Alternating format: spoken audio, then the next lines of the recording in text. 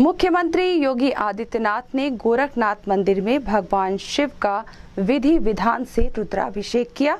गोरखनाथ मंदिर के प्रथम तल पर स्थित शक्ति मंदिर में मुख्यमंत्री योगी ने देवादिदेव महादेव को बेलपत्र कमल पुष्प आदि समर्पित कर रुद्राभिषेक किया।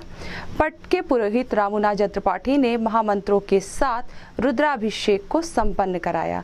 रुद्राभिषेक के बाद उन्होंने वैदिक मंत्रों के बीच हवन व आरती की और भगवान शिव से प्रदेश के सभी नागरिकों के लोक कल्याण की कामना की।